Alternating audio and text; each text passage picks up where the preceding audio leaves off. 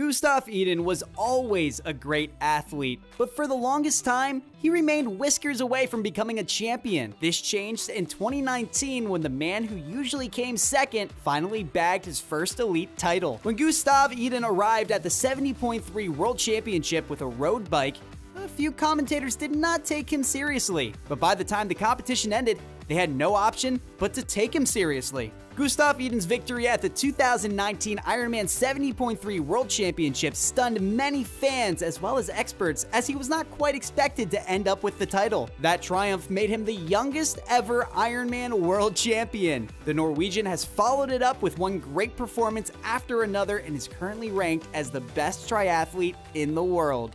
Welcome to Triathlon Global Insights, the motivation channel for all triathletes. Don't forget to like and subscribe to our channel and press the bell icon to stay updated with what's happening in the triathlon world. We keep you updated about triathlon news, incredible races, training tips, and information about pro athletes. Winning is a choice.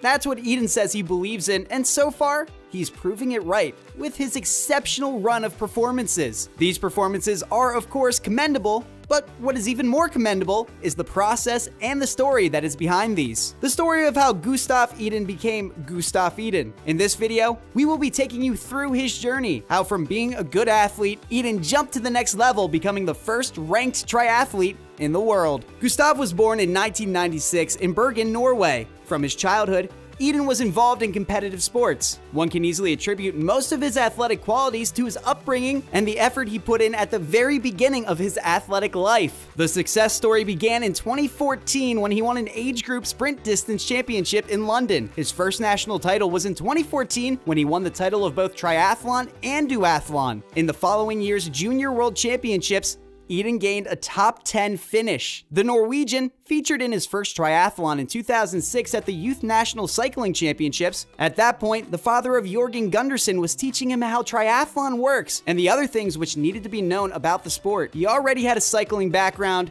He was a talented cyclist from the beginning. His father was a local youth cycling coach so there was a very big chance that he could become an elite cyclist. He used to partner up with the Odd Christian Eiking, who was at the Tour de France. However, according to him, he could not win any national championships in his age group, but was always on the podium. This was what he worked on at a young age. He was never satisfied with being the second best. He wanted to be the best and did all the hard work that was needed to be the best. The biggest moment for Iden came when he turned 16. At just 16 years of age, Iden won a huge six-day tour called the U6. He was the frontrunner in his class, and that was the biggest push for him. As the confidence grew, Iden also started winning in other disciplines. The youngster soon won junior nationals in cross-country running and the 2,000-meter steeplechase. All these achievements, at a young age, were enough to sense potential in his skills. It was only a matter of time until he released his potential on the bigger stage. When cycling came naturally to him, and running was another part of his youth life, one thing he really was not quite familiar with was swimming. But